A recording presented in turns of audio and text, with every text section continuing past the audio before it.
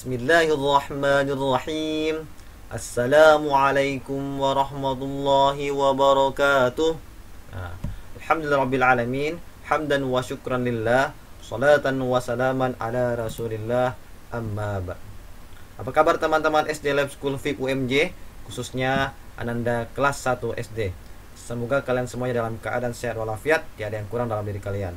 Dan hari ini kalian harus semangat dalam belajar. Nah, teman-teman, minggu kemarin kita telah mempelajari tentang ya, tentang huruf-huruf hijaiyah dan tanda baca Al-Qur'an yang disebut dengan harokat. Nah, pertemuan kali ini bertemu lagi dengan Kak Rizal dalam pembelajaran yang terbaru nih teman-teman. Pelajaran apa ya? Mengenal dua kalimat syahadat.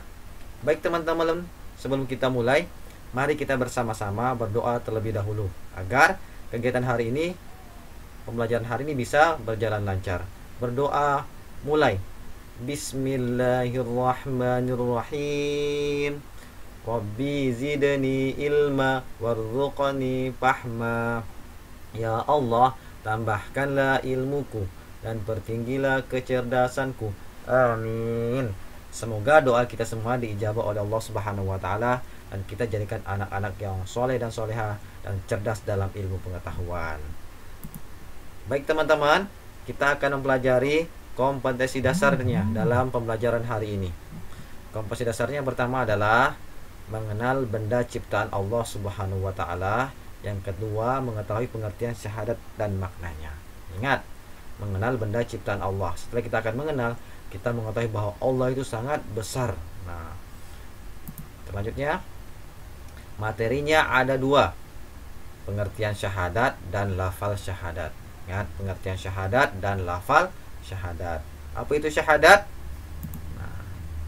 sebelum kita belajar tentang apa itu syahadat, kita belajar dulu nih hadis, belajar Al-Qur'an dan belajar yang lainnya. Nah, diikutin ya teman-teman.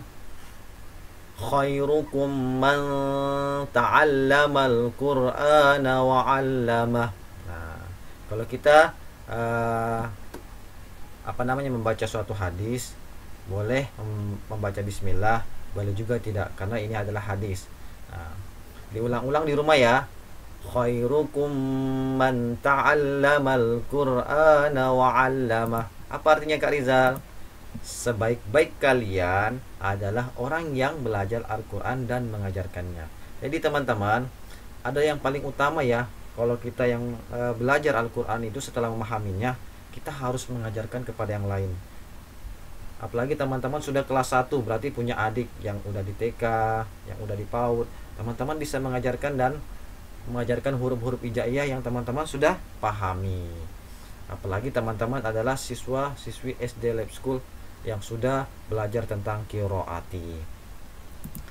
Nah ya teman-teman sebaik-baik kalian adalah orang yang belajar Al-Quran dan mengajarkannya Masya Allah Jadikan Al-Quran sebagai cahaya di semua kehidupan kita. Selanjutnya, mengenal benda ciptaan Allah. Nah, teman-teman, Allah itu menciptakan benda semua yang ada di langit dan di bumi. Seluruh alam semesta ini Allah lah penciptanya. Jadi semakin kita takjub dengan ciptaan Allah, maka kita akan semakin takjub dengan penciptanya. Nah, ini adalah gambar hewan yang ada di alam. Ya, ini semuanya adalah ciptaan Allah. Ada matahari, ada gunung, ada awan, ya, ada rumput-rumputan yang hijau dan seluruh makhluk hidup yang ada di alam adalah ciptaan Allah. Nah, selanjutnya ada gambar apa ini teman-teman? Tolong disimak ya. Ini gambar pemandangan. Ya betul pemandangan. Ada uh, bukit ada rumput-rumput ada ilalang ada batu dan air. Nah semuanya hidup. Semuanya arsi itu berkat sang pencipta. Adalah Allah Subhanahu wa taala. Jadi teman-teman harus memahami tentang materi ini. Tentang ciptaan Allah. Setelah mengenal ciptaan Allah, yakin pasti kita akan selalu dekat kepada Allah Subhanahu wa taala. Selanjutnya adalah kita lihat, nah ini juga pemandangan. Ada manusia, ada air yang mengalir, ada rumput yang hijau, ada sawah dan luar luar biasa ciptaan Allah. Jadi semakin kita melihat pemandangan, semakin melihat kita buka mata kita, maka Allah itu sangat luar biasa. Maka kita mengucapkan Masya Allah. Nah, selanjutnya apa? Kita ini sangat kecil. Ternyata masih ada benda-benda yang sangat luas, yang sangat besar Allah ciptakan. Muka bumi ini kecil, kita nggak terlihat teman-teman. Uh, ada lagi matahari yang sangat besar sekali. Nah, ada planet ya dan uh, banyak Allah ciptakan di luar angkasa. Luasnya sangat luar biasa. Kita tidak bisa menjangkaunya, tapi Allah menciptakannya itu dengan mudah. Maka dari itu kita harus mengagungkan Allah dengan melihat ciptaannya dengan mengucapkan Masya Allah. Nah, teman-teman, apalagi ini. Nah, ada buatan manusia. Nah, buatan manusia ini juga apa namanya? Tidak lepas dari kekuasaan Allah. Pesawat terbang dibuat oleh manusia, tapi ada yang menguasainya. Dia butuh udara, dia butuh tekanan, dia butuh gravitasi. Nah, itu semuanya Allah. Jadi manusia, ciptaan manusia tidak lepas dari Allah. Selanjutnya ada lagi nih teman-teman, adalah sepeda. Sepeda ini harus kita gayuh, harus kita uh, gayuh biar biar dia jalan. Nah, itu juga butuh kekuatan dari Allah. Manusia tanpa Allah tidak bisa berbuat apa-apa ya teman-teman. Jadi manusia diciptakan oleh Allah. Mata, mata, telinga, nah, hidung, ya teman-teman. Allah ciptakan. Ada lagi yang paling luar biasa yang membedakan antara manusia dengan hewan yaitu akalnya. Nah, teman-teman, inilah sepeda buatan manusia. Nah, ciptaan Allah dan buatan manusia. Teman-teman harus bisa membedakan mana buatan manusia, mana ciptaan Allah. Tapi buatan manusia tidak terlepas dari kekuatan Allah Subhanahu wa taala. Paham sampai di sini? Mengenal benda ciptaan Allah, semakin kita kenal ciptaan Allah, maka kita akan semakin mengagungkan Allah Subhanahu wa taala. Paham ya teman-teman? Yang pertama, kita lanjut pengertian syahadat. Apa itu syahadat? Nah, kita pelajari. Syahadat artinya persaksian atau bersaksi bahwa hanya Allah Subhanahu wa taala Tuhan kita. Tidak ada Tuhan yang lain, tidak ada Tuhan dua. Tuhan kita ahad satu. Dan kita bersaksi bahwa Nabi Muhammad adalah utusan Allah itu pengertian syahadat nah ya teman-teman jadi kita harus yakin dan kita harus bersaksi bahwa Allah Subhanahu wa taala Tuhan yang harus kita sembah dan Nabi Muhammad adalah utusan Allah Subhanahu wa taala. Nah, selanjutnya adalah syahadat. Syahadat adalah rukun Islam yang pertama mengucapkan dua kalimat syahadat. Orang yang akan masuk Islam harus membaca syahadat.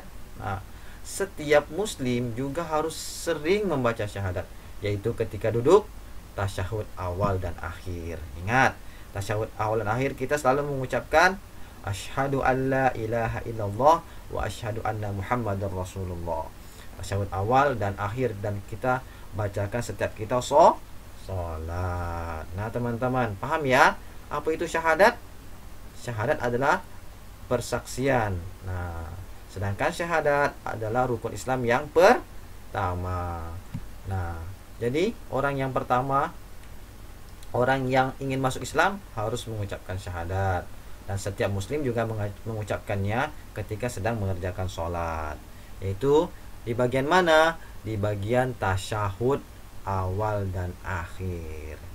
Paham ya teman-teman tentang pengertian syahadat? Bisa dibaca-baca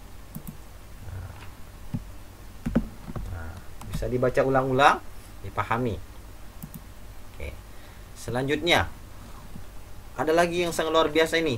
Nah, teman-teman harus bisa membaca lafal syahadat. Nah, bagaimana Kak Arizal lafal syahadatnya? Nih Kak Arizal akan ajarkan. Yang pertama, syahadat itu terbagi dua. Nah, dikenal dengan sebutan syahadatain. Apa teman-teman? Syahadat itu terbagi dua, dikenal dengan sebutan syahadatain. Nah, syahadatain dua kalimat syahadat. Artinya dua kalimat syahadat. Nah, yang pertama nah, tauhid terdiri tau, kalimat tauhid. Yang kedua terdiri kalimat rasul. Nah, digabungin menjadi syahadatain. Jadi ada syahadat tauhid dan ada syahadat rasul. Nah, ada dua ya. Jadi syahadatain itu digabungkan menjadi syahadat tauhid dan syahadat rasul digabungin menjadi syahadatain. Jadi dua kalimat syahadat disebut syahadatain. Nah, paham sampai di sini? Paham ya teman-teman? Jadi syahadat itu ada dua disebut dengan syahadatain gabungan antara syahadat tauhid dan syahadat rasul. Oke. Lafal syahadat atau lafal persaksian. Yang pertama syahadat tauhid. Apa itu syahadat tauhid? Nah kita baca-baca berulang-ulang. Oke Ashadu an la ilaha illallah. Nah, setelah kalian membaca dengan baik, kita Kak Arizal akan bacakan dengan uh, nada. Ashadu an la ilaha illallah. Nah. Lihat. Ashadu an la ilaha illallah. Sekali lagi. Ashadu an la ilaha illallah. Jadi nun sukunnya itu melebur melebur ke huruf lam. Jadi tidak an tapi al al. Ashadu an la ilaha illallah. Artinya aku bersaksi bahwa tiada Tuhan selain Allah. Jadi kita harus bersaksi bahwa tiada Tuhan selain Allah.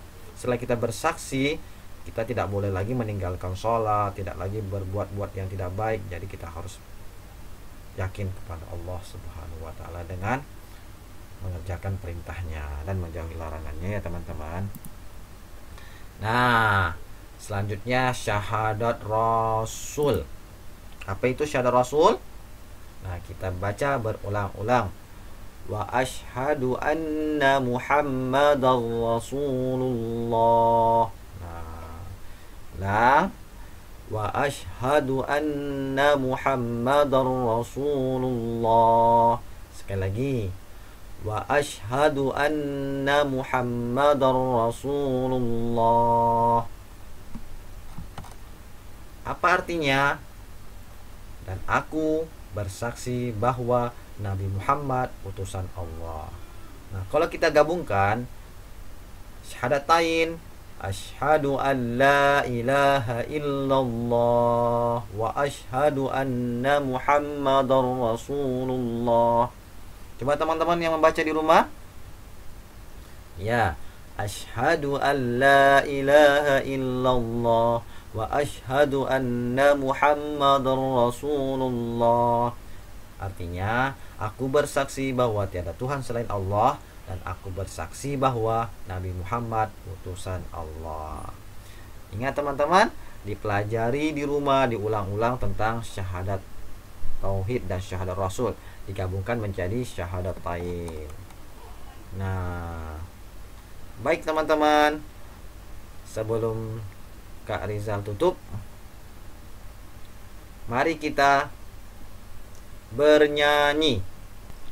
La ilaha illallah Muhammadar Rasulullah La ilaha illallah Muhammadar Rasulullah Tiada Tuhan selain Allah Muhammad utusan Allah Allah Allah la ilaha illallah. Kita ulang ya teman-teman. La ilaha illallah muhammadur rasulullah. La ilaha illallah muhammadur rasulullah. Tidak Tuhan selain Allah. Muhammad utusan Allah. Allah Allah la ilaha illallah. Nah, sekali lagi bersama-sama. Satu, dua, tiga. La ilaha illallah Muhammadur Rasulullah.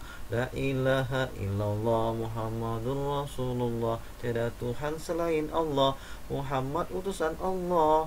Allah, Allah, la ilaha illallah. Nah, teman-teman, akhirnya sekian dan terima kasih atas uh, semangatnya teman-teman dalam belajar. Kak Rizal mengucapkan apabila Kak Rizal ada kekurangan dan kehilafan dalam mengajar mohon dimaafkan karena kelebihannya datangnya dari Allah dan kekurangannya datangnya dari pribadi Kak Rizal sendiri.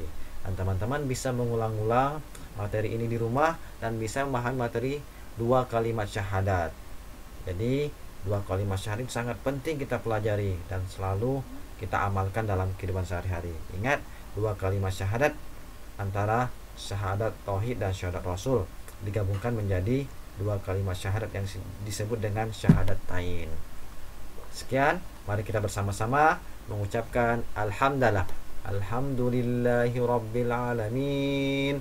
Wassalamualaikum warahmatullahi wabarakatuh.